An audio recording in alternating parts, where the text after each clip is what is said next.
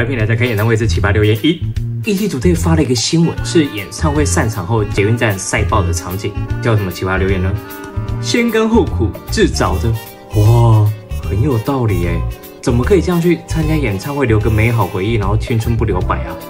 应该学你宅在家打字讲废话，才能先甘后甘啊！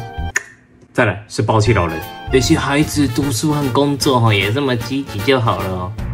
不知道这些钱是自己赚还是别人给的，真有钱。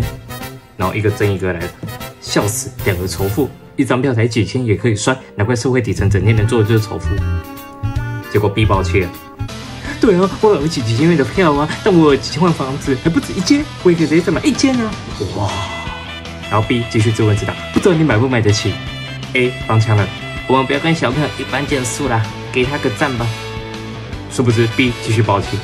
像我这样子，在社会底层的啊，也只能在孩子每年生日的时候会给一百万的现金当他的礼物。不知道你年收入有没有超过这个价值？七位数的币不知道是哪一种的？Super 暴气！